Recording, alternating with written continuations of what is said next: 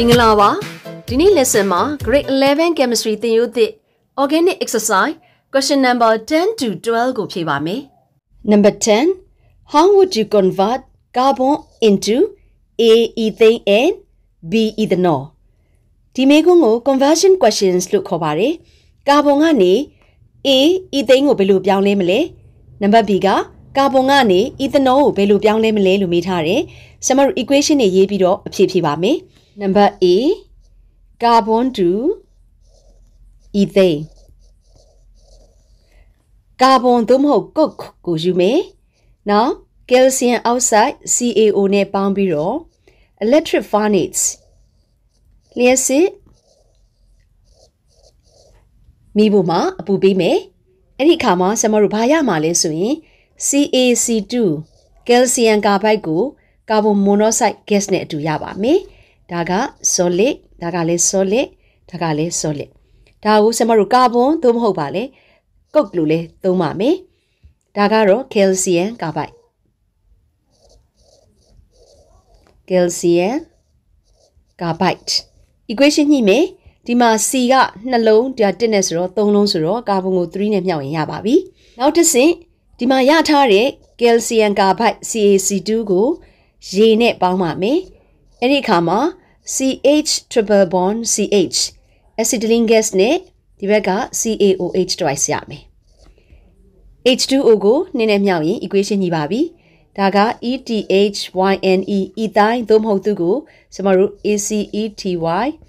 LENE acetylene gas လို့လည်းခေါ်ပါမယ်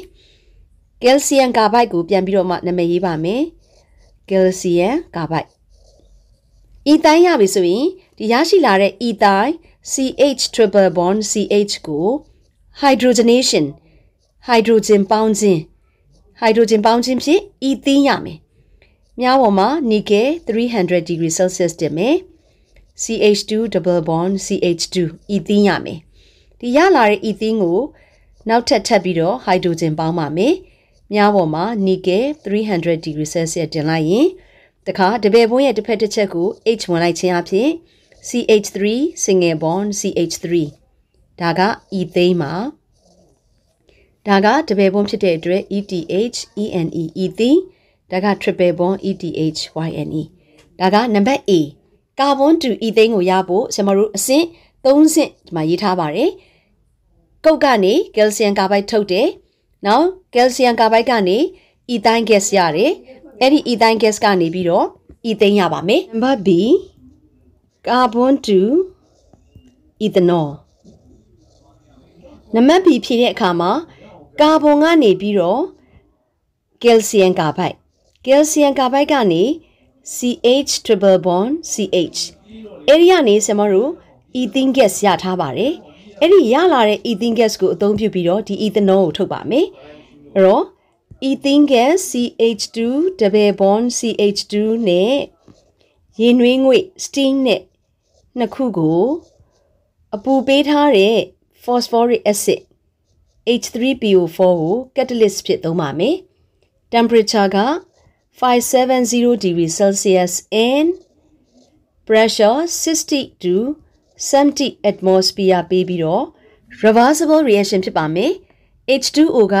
H နဲ့ OH နှစ်ခု꿰ပြီးတော့တစ်ဖက်မှာ H ဝင်မယ်တစ်ဖက်မှာ OH ဝင်မယ်အဖြေက CH3 CH2OH ethanol ရမှာပါဒါက ethanol liquid ဒါက ETHENE ethene ဖြစ်ပါတယ် number 11နံပါတ်11မှာပုတ်ခွဲ ABC သုံးပုတ်ရှိပါတယ်။နံပါတ် A က give a chemical test to distinguish between ethane and ethene with the relevant chemical equations. ethane နဲ့ ethene ကိုခွဲခြားဖို့အတွက် chemical test တစ်ခုကိုတင့်တော်တဲ့ chemical equation နဲ့ဖြေပေးရပါမယ်။ဒီလိုမျိုး distinguish question မျိုးမှာဆိုရင် reaction ဟာအယောင်နေနဲ့တိတာထင်ရှားတဲ့ chemical reaction မျိုးကိုရွေးချယ်ပြီးဖြေရပါတယ်။ဒီမှာ ethane နဲ့ ethene ကိုခွဲခြားဖို့ဆရာမ ethene ကိုအရင်စရေးမယ် CH2 double bond CH2 ethene သူ့ကိုဆရာမကမြားပေါ်မှာ dilute KMNO4 တင်မယ်သူကခရမ်းရောင် violet ရှိတယ် dilute KMNO4 လို့ပြောတဲ့အတွက်ဒီထဲမှာကျွန်တော်တို့ရေးပါပါမယ်။နောက် KMNO4 ဟာ oxidizing agent ဖြစ်တဲ့အတွက်နေဆန့်အောက်ဆီဂျင်ထွက်ပါမယ်။ဒီ H2O ရဲ့ O ရဲ့ပေါင်းလိုက်တဲ့အခါမှာ OH အုပ်စုနှစ်ခုရပြီးတော့ တပည့်ဘိုးရဲ့တစ်ဖက်မှာ OH တစ်ခုဝင်မယ်နောက်တစ်ဖက်မှာ OH တစ်ခုဝင်ပါမယ်ဒီတော့ကျွန်တော်တို့ရတဲ့အဖြေက CH2OH single bond ဖြစ်သွားမယ်နောက် CH2OH အီသင်းနဲ့ဝင်တာဖြစ်တဲ့အတွက်အီသင်းဂလိုက်ကောအီသင်းဂလိုက်ကောက colorless ပါနောက်တစ်ခုအီသိန်း CH3 single bond CH3 ဒီအီသိန်းတွေကိုပဲ H2O ပေါင်းမယ်နေဆန့်အောက်ဆီဂျင်ပေါင်းမယ်ဒါကတော့ညပေါ်မှာ dilute KMNO4 violet တက်ရဲ့သဘောတရားကတော့ဤသီးနှဲကိုခရမ်းအောင်ရှိတဲ့ KMNO4 ထည့်တဲ့အခါမှာ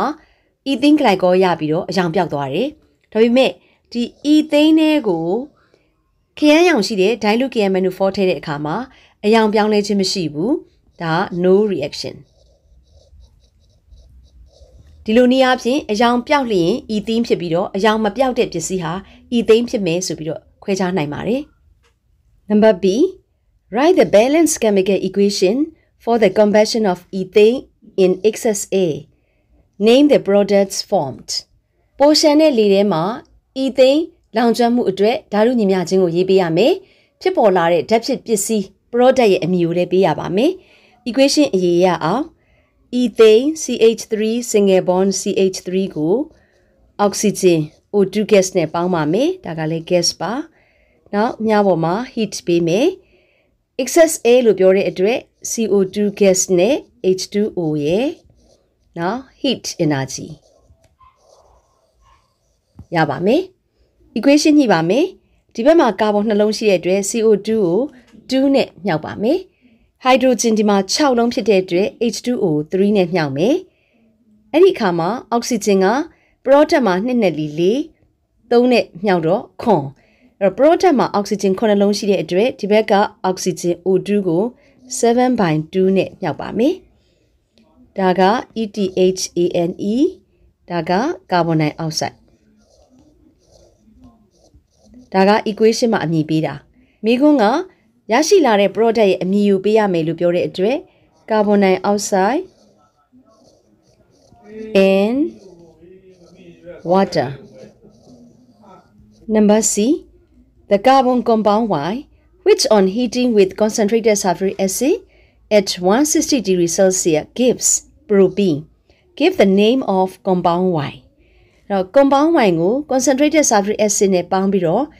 160 degree Celsius အပူပေးရင်ပရိုပင်းရတယ်။ compound Y ရဲ့အမည်ကိုပေးရပါမယ်။ equation အရင်ရေးကြည့်ပြီးမှ compound Y ကိုစဉ်းစားမယ်။မြားပေါ်မှာ concentrated H2SO4 160 degree Celsius ပေးမယ်။ product က propene CA3 CH double bond CH2 ဒါက product အဲ့တော့ product propene ရဖို့ဆရာမတို့ဒီဘက်မှာ propanol ကိုသုံးရပါမယ်။ CH3 CH2 CH2OH ဒါကို1 propanol လို့ခေါ်မယ်။မိကုန်းက compound wine ကိုမေးတာဖြစ်တဲ့အတွက် compound wine is 1 propanol သို့မဟုတ် CA3 CH2 CH2OH လို့ဖြေရပါမယ်။ number 3 ပုတ်ခွဲ၃ပုတ်ရှိတယ်နံပါတ် A by heating a mixture of sodium propanoic and soda lime the gas B is evolved what is the gas B write the chemical equation sodium propanoic ကို soda lime နဲ့ပေါင်းရင် gas B ရမယ်အဲ့ဒီ gas B ကဘာလဲ equation ရေးပြပါတဲ့ sodium propanoic CH3 CH2 COONA ကာဗွန်၃လုံးပါတဲ့အတွက်ဒါဟာ sodium propanoate ပါ PRO PA NOATE သူ့ကို soda lime နဲ့ပေါင်းတယ် soda lime ဆိုတာ NaOH ရဲ့မြားပေါ်မှာရှိတဲ့ CaO ရဲ့ကို soda lime လို့ခေါ်တာပါပြီးတော့အပူပေးလိုက်မယ်ဒီလိုပေးလိုက်ရင်ဟိုဘက်မှာဒီမှာရှိတဲ့ H ကဒီဘက်မှာရှိတဲ့ CH2 ကိုလာပေါင်းတဲ့အတွက် CH3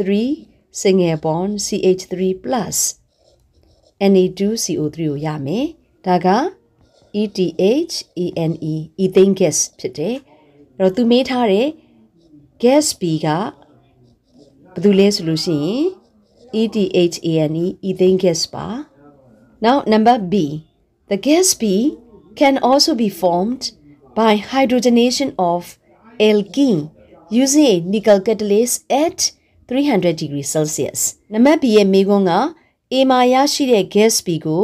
alkene ကို hydrogenation လုပ်ခြင်းအပြင်လေ gas B ရတယ်လို့ပြောတယ် name the alkene alkene ရဲ့အမည်ကိုပေးပါ write the chemical equation ဆရာမ equation ကိုအရင်ရေးလိုက်ပါမယ် alkene ကို hydrogenation လုပ်လို့ရှိရင် gas B ရတယ်အဲ့တော့ဆရာမ gas B ဟာ ethane ဖြစ်တယ်ဆိုတော့ product ethane ကိုအရင်ရေးလိုက်မယ်เนาะဒါ product ethane အဲ့ဒီ ethane ရဖို့အသုံးပြုတဲ့ gas B ကလည်း E ဆိုတဲ့ကာဗွန်နှလုံးပါတဲ့ gas ပဲဖြစ်ရမှာဖြစ်လို့ဆရာမ CH2 double bond CH2 alkene ကိုသုံးမယ်ဒီဘက်က hydrogenation ဆိုတော့ H2 ပေါင်းမယ် catalyst က nickel 300 degree celsius ပေးမယ်ဒါဆိုရင်အသုံးပြုထားတဲ့ alkene ဟာကာဗွန်နှလုံးပါတဲ့အတွက် ethene ဖြစ်ပါမယ်ဒါကိုသူပြောသလိုနာမည်က name the alkene လို့ပြောတဲ့အတွက်ဆရာမက အဖြေကိုတတ်တတ်ဖြေပါမယ် alkene equal to ETH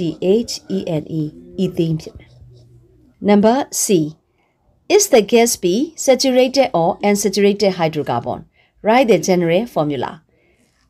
number A မှာရှာထားတဲ့ gas B ethane ဟာ saturate လား unsaturated လားဖြေပေးရမယ်ပြီးတော့သူ့ရဲ့ general formula ကိုရေးပြရမှာပါ gas B ဖြစ်တဲ့ ethane is saturated hydrocarbon hydrocarbon ဖြစ်တယ်။နောက်သူ့ရဲ့ general formula ကိုရေးရမယ်ဆိုရင် general formula က saturated hydrocarbon ဖြစ်လို့ CN H2N + 2 ဖြစ်ပါတယ်။ဒီနေ့ lesson မှာ exercise number 10 to 12ကိုဖြည့်ပေးထားပါတယ်။နောက် lesson မှာကျန်နေသေးတဲ့ question တွေကိုဖြည့်ပေးပါဦးမယ်။ See you next lessons. Bye bye.